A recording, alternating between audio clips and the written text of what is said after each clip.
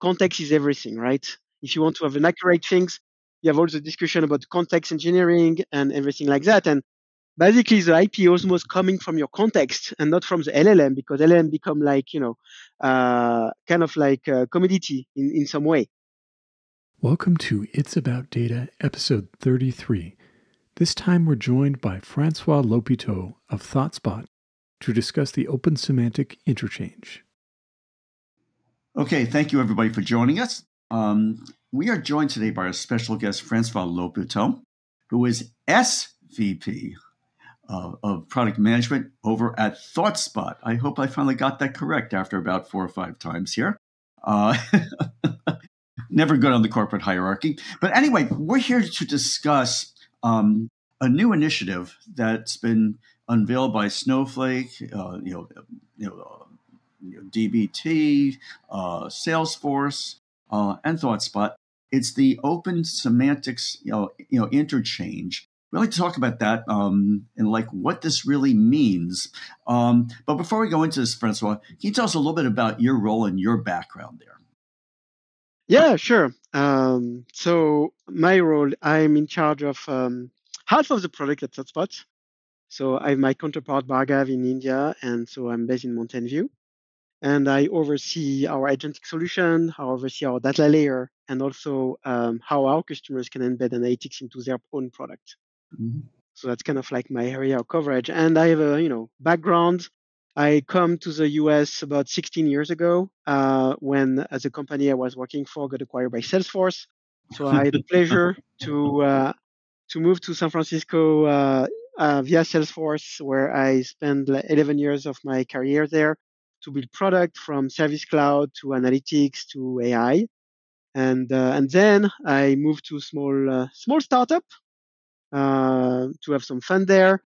Uh, most recently was more like a data security uh, startup called Odaseva, where I, I worked for five years. And so since now almost a year, I'm at ThoughtSpot, uh, joining, you know, I, I really enjoy the data and uh, analytics and BI space. So it was really a pleasure to go back to ThoughtSpot to this space, especially in these, you know, iconic companies right now where agentic is kind of like leading the way. Okay, that's and agents are quite a powerful term this year all yes. of a sudden. Yes. But but let's actually there's one point I've been just dying to make here, which is OSI. Where have we heard that before? It was the Open Systems Interconnect. Remember the seven layer model, of which basically uh, I think what we're going to be talking about today, there's actually a connection that is layer seven, the application layer, I believe mm, this maps yeah. to. Gosh, do we remember all that? And then there was the open source initiative, like what's open source? Um, and now we're talking about something different with semantics. So, can you tell us basically a little bit about what this is about? Yeah, I think, you know, at first I think like it's a comeback of the semantic layer a little bit, I feel. Uh, you know, like it it's uh, it was not so much popular uh, a year ago or two years ago. Uh, and now with the rise of agentic and especially in the BI market, I think it's like, you know, from my perspective, from the BI market, a semantic layer is now so much like important. Uh, because before, you know, originally speaking, you had a dashboard where analyst was kind of like curating the data, uh, putting the data together inside a dashboard to show it to the business users, right? And they were kind of like the curator of it. But now that people are querying directly the data through agents uh, and through LLM, then you need to have this curated view of your data. Mm-hmm. And now this curated view became your semantic layers. So the dashboard was before, and now the semantic layers is a guardrail and really like the the, the protector of your data and also giving like sense of your data. So I think mm-hmm. that's why, you know, the semantic layer is rising. And at ThoughtSpot, funny enough, when I joined, uh, we were not speaking much about the semantic layers.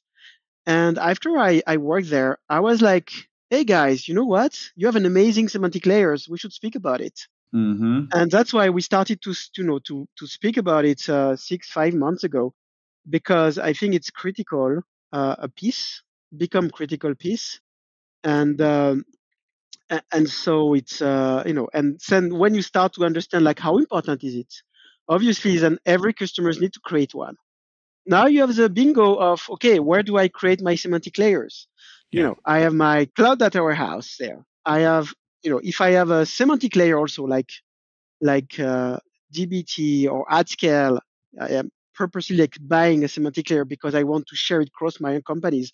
Or in my BI tools, I also have semantic layer. So you end up with four or five different layers where you can have your semantic layers. And then as a company, it became like a nightmare. It's like, okay, where do I manage my semantic layers? Uh, where is the source of truth? Uh, you know, what should I do about it? Should I buy, you know, so that's really where comes this OSI is from the fact that, you know, recognizing that we need to help our customers. We need to help our customers to not have, because, you know, the semantic layer need to be in multiple area, cannot be just in one application, right? So we need to come up with a format which makes super easy to share it cross applications. So it's really like a vendor agnostic approach where it's really from the point of view of customers, we really want to help them to say, okay, you don't have to decide where you want to have your source of truth, or you want you don't want to be locked in with one specific vendors because you have created your semantic layer there. You need to be open, and then if us as vendors, we can come up with a format that easily you can have it in Snowflake, and then have it easily in ThoughtSpot, have it in easy somewhere else, then our customer would be super happy. So that's really like the why this OSI exists and why I think it's going to be uh, transformative in our market. It's interesting. I mean, you get to what really has been the Achilles heel of semantic layers for a long time. Everyone has thought they were a good idea for a long, long time. But the whole point of semantic layers is to bring together many products. And yet you had 50 different products that wanted to own the semantic layer, all competing yes. with each other. It, now, it sounds like you have worked with semantic layers in the past before you got to ThoughtSpot. Am I gathering that correctly? I think that my, yeah. my big point is actually, yeah, I mean, I obviously I work on other AI product and mm-hmm. BI products, mm-hmm. so semantic was all the time a, a great thing but I yeah. think it's in ThoughtSpot more specifically because, you know, like the company got created some times ago with the premise of you should be able to search on your data like you search on Google, which was, yeah. you know, like the initial messaging, which mean like at the time to make this promise possible, ThoughtSpot created the semantic layers. So but nobody called it the semantic layers. But we had to because we know ThoughtSpot is doing live yeah. query. Uh, we can cache data, but mostly our customers are doing live queries on top of Cloud Data Warehouse.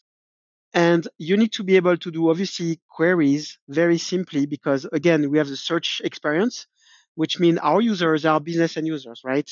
And they need to be able to say like sales, monthly, country, and us on our side, we need to translate this into a SQL query. Yeah joining the right table in the right order and, and do a lot of great stuff. And for that, we had to create these semantic layers to be able to have a map of all the tables that, you know, belong to the sales dataset, like grouping all together the right information that our customers can just use keywords and we can generate the SQL behind the scene. So because of that, we had to create the semantic layers. And so we have, you know, I was, it was funny when I look at our semantic layers, we had more than 60 different keywords to define the semantic layers. So semantic layers can be very deep, right? It's not yeah, just like yeah. join and it's much more than that. Yeah. And if you think about this complexity and you multiply by 10 tools, you will kind of understand the nightmare of our customers. Yes. Yeah. We've been talking a lot about metadata interchange. We've been talking a lot about basically about catalog interchange. Where does this pick up and, th- and those leave off? What, what do you mean by that? Sorry. Well, basically, we've been, you know, there have been a lot of basic proposals. You know, for instance, mm-hmm. like you know, Databricks has had this proposal for, you know, for Unity catalogs, sure, catalog yeah. of catalogs. Everybody yes. has their own catalog that claims to be the you know, a catalog of catalogs. And the idea is you should be able to find data through that. And of course, you have, you know, business glossaries um, and so on. Um, and below that you have knowledge graphs. Where does this pick up and all those other you know you know, you know pieces you know leave off? And not to say those other pieces aren't important. Maybe you can say where it picks up and where they left, yeah, and and how they all basically relate to each mm. other. Yeah, I think that I the way I take it is semantic layer is really like the the the core of everything, right? Mm-hmm. It's core for being able to understand your model, to be able to generate the right SQL queries, to be able to generate the right analysis. And for catalogs, they need also to be able to, you know, um, like index kind of like your semantic layers to be able to drive, you know, where's where's the data coming from, where uh, what is the finification of this metric. So I see really like the cat- data cataloging sitting on, on top of the semantic layers. and be able to take the information from the semantic layers to be able to create their catalog. So it's empowering them also to be able to better uh, provide dictionaries and things like that. Got it. Okay. Let, let me ask this as well. So, a, as you mentioned, um, ThoughtSpot has been in the semantic layer space for a long time. I mean, that that's kind of a core part of the product for years. I know you're relatively recent there, but I imagine you have a perspective on the history. How have the customer conversations changed in the last couple of years with LLMs and more natural text interaction? I, I think that um, I think first that you know for a very long time semantic was not like the core of everything. Mm-hmm. And because again, you know, for my market, like the BI market, right, people were using dashboard as kind of a semantic layers. So semantic was kind of like a second thought. It's like, okay, is it does it belong to the data analyst? Does that belong to the data engineers? It was kind of fuzzy yeah. also a little bit. So nobody yeah. was really owning it, kind of we had to build one in ThoughtSpot, but we never called it semantic layers, right? So people had to create it, and it was more like the analyst was going to use it, but it was only dedicated for ThoughtSpot. It was not used somewhere else, right? So now I think with LLM and the rise of LLM, everybody understands that this is a requirement and this is a mandatory requirement because if you want to have an accurate uh, agent, you need to uh, to be able to have um, uh, semantic layers that can bring the context. And you know, as everybody's realizing these days, context is everything, right? If you want to have hmm. an accurate things, yeah. you have also discussion about context engineering and everything like that. And basically, the IP is almost coming from your context and not from the LLM because LLM become like you know, uh, kind of like a commodity in in some way. So it's all about the context, and the context is coming from the semantic layers. So this piece is really like the, the, the fuel for the agentic engine. Yes, we've had many con- conversations here um, with various folks about you know talking about you know essentially a context, you know semantics, and your colleague Cindi Howson put out a great post when this came out, uh, and her tagline was "Semantics is sexy again," and uh, it's, it's really amazing because basically she was there, she had a ringside seat you know, basically she was running BI scorecard all those years and really yep. traced the evolution from business objects to universe. It's it's amazing. But anyway, what I want to look at is where we are now and where we're going from here. So there, this is a two part question, which is like, how well specked out is uh, is OSI? Because what I've been reading, the blog posts are very general. They seem to be very focused on principles. So how well defined is this at this point? Where does it stand?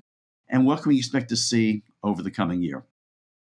Yeah, sure. I mean, you know, we announced it, uh, I think like now a week ago or two weeks ago. Uh, so we have, you know, we are going to have our first meeting, uh, you know, next month, where we are going to be able to share the principle, share also like, you know, how do we execute on that? How do we take what everybody is doing already, and how we combine this, you know, uh, smart, uh, smart features and smart things into a, a tactical and executionable uh, paper about the format. So I will say it's really like you know new, nascent. I think everybody and all the participants and all the vendors we have great experience. We have great thing to share uh, from our different angle. So you know from the cloud service angle, from the BI angle, from you know the the pure like with also the pure semantic players, which also are part of the of this initiative. So I think we are just going to, you know, uh, share all this in common. And again, this is for the greater good of the customers. So, you know, the target is to be really like vendor agnostic. You need to be universal. It need to apply to every type of use cases. So I think it's a great exercise. I'm super, you know, motivated for that because it's a great thinker coming together to uh, to build something cool. So it's it's going to be pretty cool. Nice. Well, thank you so much for taking the time. And uh, at some point, we, we may want to have a follow up conversation when this actually starts to roll out to customers. We're excited for this. Yeah, this definitely very much sounds like a work in progress. So definitely want to see where you guys are going. Yeah. yeah. Sounds good. Thanks very much for joining us. Thank you. Thank you, and talk to you soon. Bye bye.